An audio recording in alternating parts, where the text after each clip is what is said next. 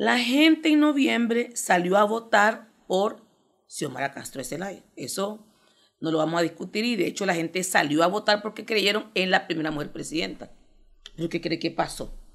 Al final solamente utilizaron la desesperanza de la gente porque quien quería llegar realmente al poder era Mel Zelaya. ¿Quién gobierna hoy? Manuel Zelaya Rosales. Y alrededor de Mel, ¿quiénes están? Sus amigas, sus familias, sus hijos, sus nietos, cuñados, bisnietos, tataranietos, etc. Y estos que son ministros, por ejemplo, que también están en el poder, ¿quiénes contratan? A sus primos, a sus tíos, a sus hermanos, a su amante, etc.